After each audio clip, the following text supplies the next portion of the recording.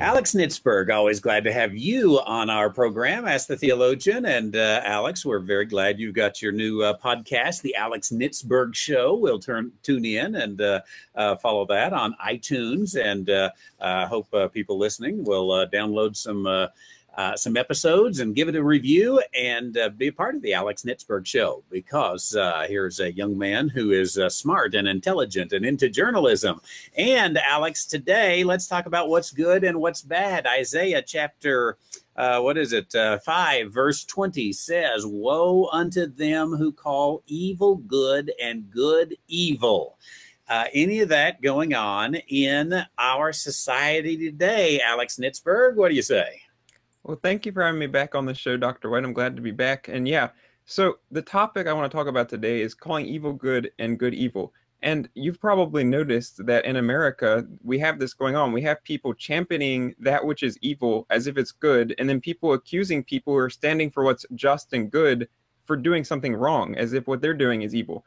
And I have a couple examples before I get into my specific example. Uh, abortion proponents, they argue that they're standing for a woman's right to choose and women's rights you know they use those terms and they say if you're against abortion you're against women's rights and you know you're not for abortion rights. So they're twisting something they're they're taking you if you're anti-abortion you're standing up for a, a child's right to live and they're saying what you're doing is wrong and what they're doing is right. And when it comes to the lgbt agenda we have a sim- let me just uh, interject right there because I think the uh, uh, the liberals have uh, far outpaced the conservatives on this in that they have taken even the language of society and uh, pro-choice. You know, that, I mean, this sounds like a good thing. Obviously, we ought to let women be free. We ought to let uh, we ought to let people choose about their own bodies, and they have just been brilliant, I would say, and and in one sense, in another sense, I would call it satanic because this is the way the devil works. Always is well, God didn't really say right, and uh, uh, you, you, know the way the devil twists scripture and twists words, uh, and uh, the the liberal agenda has been very good at this. Sorry uh, to interrupt. Go ahead, Alex. Well, you're exactly right. Words are important, and and you can people change the conversation by they'll change the words they're using. Like they change like you know abortion or for what, what for instance why don't why don't we call it something like baby killing or something we call it abortion and now they're calling it you know they've changed it to an argument the argument's now not about abortion it's about women's rights and so you're right they changed the terms uh, global warming became climate change words change when you're arguing about stuff sometimes and it is interesting that that happens Second and, example, second example is the LGBT convenience. Right? It seems like they change for great convenience, uh, for their own convenience, and uh, uh, to uh, call it uh, murder or baby killing or sodomy or whatever uh, terms would be politically incorrect. Go, go ahead. Right. Yeah. And so the second example, the LGBT movement, we got the same thing. It's being celebrated. Not only are they saying it's okay, but they're celebrating it in culture. Not everyone, you know, liberals and people are celebrating this movement. And if you're against it, if you say no, LGBT is a behavior, it's a sin, it's wrong, the Bible says it's wrong, then you're hateful, you're intolerant. So they've taken what's evil and they're saying it's good. And if you're standing against what's evil, they're saying that you're evil. So, but but the specific thing I want to talk about today that just illustrates this because it's just so insane there's something called Drag Queen Story Hour. And it really is what it sounds like. It is drag queens, cross dressers, reading stories to children. And it's seriously, dragqueenstoryhour.com. They have a website. And it, it's it's just such a stark illustration of calling evil good and good evil. I wish that uh, you were making this up, Alex. Uh, tell us you got this on Babylon Bee, right? No, I did not. No, I didn't. It's not a satire thing. It's real. And yeah, and so it, the, the website, this is a quote straight from the website. It says, DQSH, it's abbreviating Drag Queen Story Hour, captures the imagination and play of the gender fluidity of childhood and gives kids glamorous, positive, and unabashedly queer role models. In spaces like this, kids are able to see people who defy gen- rigid gender restrictions and imagine a world where people can present as they wish, where dress up is real. And th- this is really, I mean, this is what it is. It's it's where cross dressers go to read stories to children. They say that they go to schools, libraries, and bookstores. It seems like they go to a lot of libraries. But so one of the books that they've read at, at this event, at these events before, is a book called My Princess Boy, which was written by a woman named Cheryl Kilodavis.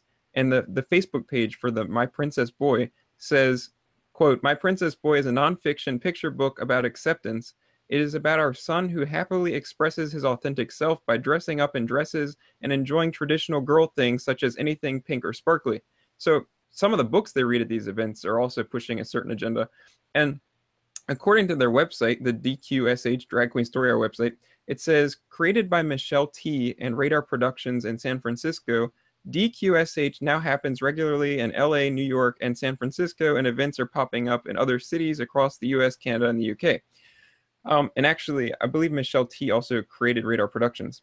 And so I found out about Drag Queen Story Hour when I was reading an article on NBC Out, which is basically a pro LGBT uh, section on NBC News' website.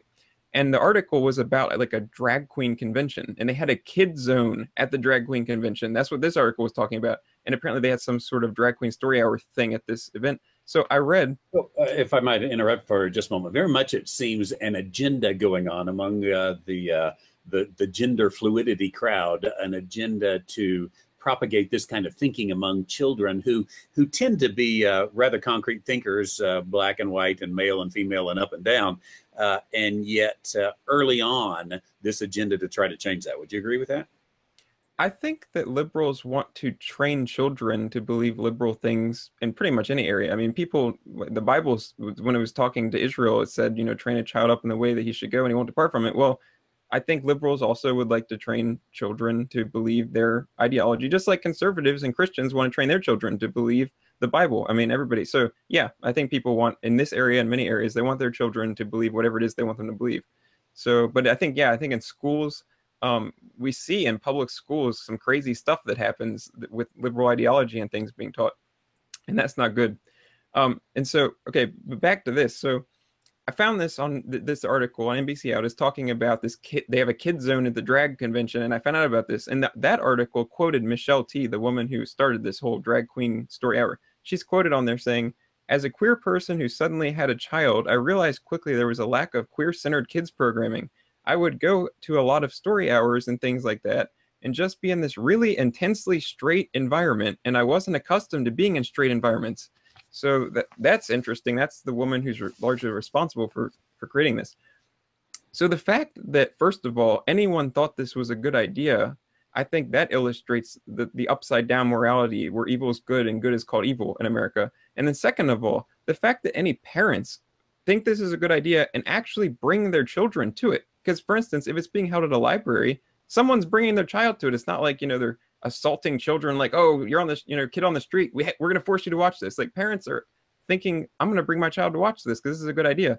So that verse in isaiah 520 where it's it, it uses the term woe unto them that call evil good and good evil uh, i think that's applicable to the situation and it seems to describe what some liberals in america uh, believe and are pushing on society amazing, uh, isn't it? What's going on today in that uh, liberal agenda in America, liberalism in America today. Thank you, Alex, uh, for uh, presenting that uh, to us. It really is, uh, I, I, think, quite shocking the the degree in which our society is, Uh, to uh, use the words of Isaiah, putting darkness for light and light for darkness and bitter for sweet and sweet for bitter and uh, and male for female and female for male and on and on we can go. In which it, it, came about, I think you would agree with me, Alex, that years ago uh, when postmodernism set in, postmodernism had no absolute truth. And what we have today is just the chickens come home to roost, right? Well, I think one thing I would recommend is homeschooling. I like mm-hmm. homeschooling, you know, because the public school system, we, we there's like a constantly there's a story here, there's a story there, you know, that they're teaching about Islam in public school, they're teaching weird gender stuff in public, whatever it is, or even just that they they won't, you know, teach about the Bible or something. So I was homeschooled for part of my schooling, and I definitely would recommend that Christians think about homeschooling their children if they can. I like homeschooling. I think it's a good thing. Amen. I totally agree with you. And I, I think the uh, public school system, uh, even if you've got good teachers there, and there are certainly some good public school teachers, and even if they happen to uh, be, uh, be, be teaching a, a, good lesson, the system as a whole is so ideologically driven, so phil- philosophically driven that uh, it's just impossible to come out untainted on the on the whole thing. Or a parent's going to have to do so much unteaching on the ideology that's there and the experimentation that's there. Uh, uh, John Dewey, I think, introduced this uh, to us, and so I certainly agree that homeschooling is uh, an option that ought to be considered. And for those who want a good option on homeschooling, uh, go to jndarbyacademy.org, the John Nelson Darby Academy, uh, which of course uh, I, I, started and lead, and I appreciate that little unintended intro to that, Alex.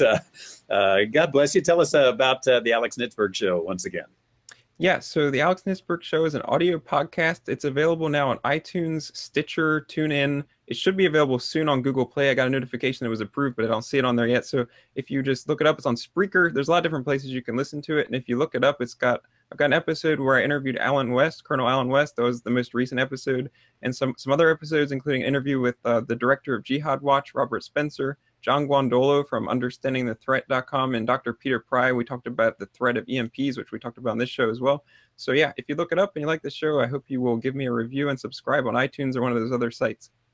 Excellent, uh, Alex, and some great uh, guests you've had there. That's the Alex Nitzberg Show. It's N I T Z B E R G. Look that up on iTunes or any of those uh, and uh, get some of those episodes and give him a, uh, a, a good review. God bless you, Alex. Uh, we look forward to seeing you next time on Ask the Theologian. Thank you, Dr. White.